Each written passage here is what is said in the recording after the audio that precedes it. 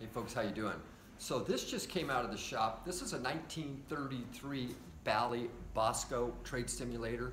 What's really neat about this trade stimulator is you see very few of them that are electrified or have electric motors in them. So for 1933, this was a pretty cool game. It's in its original condition, original cabinet. This machine works really well.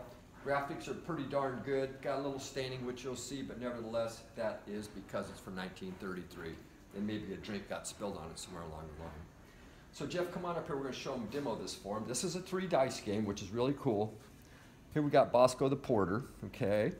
Uh, the way that this works, I really kind of dig this machine. So you put your nickel in, it starts it electrically. Then you push the plunger to stop it. Okay, so what do we get? 6, 7, 8, 9, 10, 11. But we have to be paired up here. So we got a 6, a 4, and a 1. No winner there. Okay, so let's try it again. That neat. All original. That is so cool. To stop it. So we got a five and two threes. I don't think we won. Uh, wait a minute. Three, three, five. Okay, so we did win. We won one package of cigarettes. So we got three, three, and five. Try it again. So we got 635.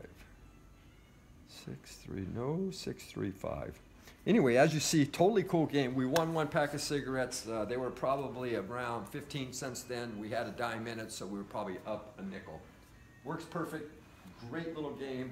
Uh, once again, they really didn't have very many electrified games at this time. So sweet little dice game. Uh, great collectible. Nice way to start in trade stimulator field. Anyway, 1933, Bally Bosco. Old home week for me with all the Bally product. And then here's your anti-cheat. Let's show them this, Jeff, on the side. That's the last nickel plate. Okay, this is pretty cool, right? What we're gonna do, you'll see it switch, right? Oh, little boy. Right, and then it pushes the last coin out, and this one comes in. Great little game.